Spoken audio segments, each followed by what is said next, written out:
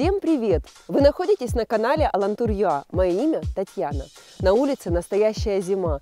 Помните, как в детстве? И сегодня мы открыли катательный сезон. Если вопрос о выборе беговых лыж остался для вас в прошлом, и теперь вы ломаете голову над другим вопросом, что же такого надеть? Это видео для вас. Итак, как же одеться для лыжной прогулки, чтобы одежда не сковывала и холодно не было?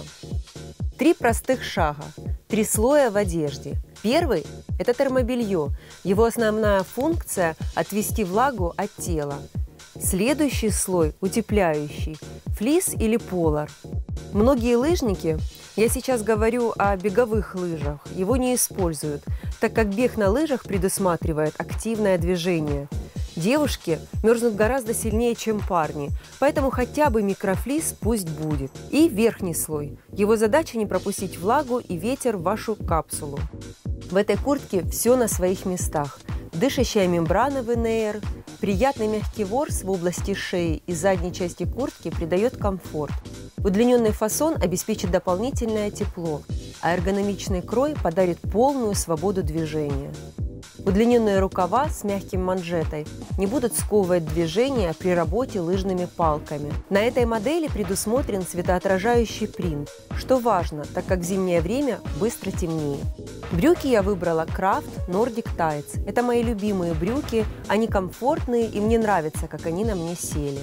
В передней части они защищены от ветра ветрозащитным мембранным материалом. Сзади эластичная и дышащая ткань. Модель достаточно плотно облегает ноги, снижая сопротивление воздуха и обеспечивает свободу движений.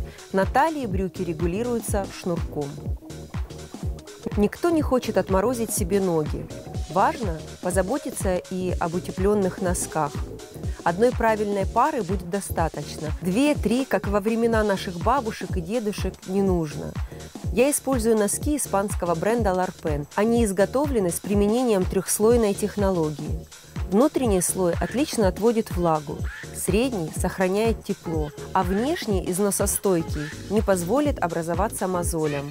Носки Larpen S3NC – прекрасный выбор для лыжников, которые нуждаются в комфорте, тепле и сухости. Необижаемые руки, специальные лыжные перчатки обязательно.